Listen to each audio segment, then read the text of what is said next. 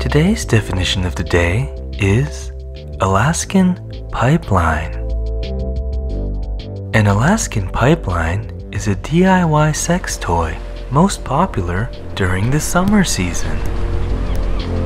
You can make an Alaskan pipeline by getting a condom and taking a crap in it. Different condom sizes and poop consistencies will create a variety of sensations. After tying up the poop-filled condom, place it in the freezer for about 3 to 4 hours. Once it's been frozen, you can insert your Alaskan pipeline in an anus or vagina for a cool and refreshing dildo experience. Alaskan Pipeline